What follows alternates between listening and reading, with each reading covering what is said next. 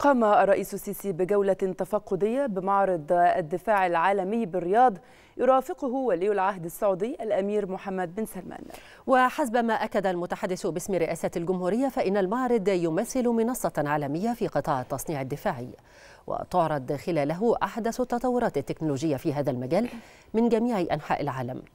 كما تفقد الرئيس السيسي الجناح المصري الذي يضم منتجات عسكرية متنوعة لوزارة الإنتاج الحربي والهيئة العربية للتصنيع حيث تأتي المشاركة المصرية في المعرض في إطار العلاقات المترابطة بين البلدين والحرص على المشاركة والاطلاع على أحدث التكنولوجيات في مجال الصناعات الدفاعية.